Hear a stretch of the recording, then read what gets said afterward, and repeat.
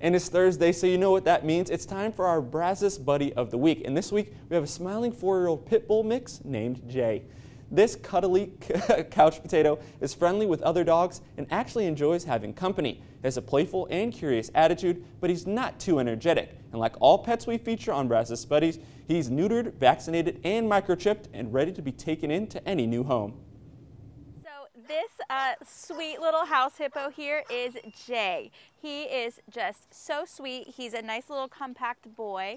Um, he loves treats. He loves going for walks. He loves snuggles. And most of all, he loves treats. And if you're interested in adopting Jey, then you're in luck because you can adopt him right now for only $12. For more information on adopting him, you can go to the Aggieland Humane Society's website below.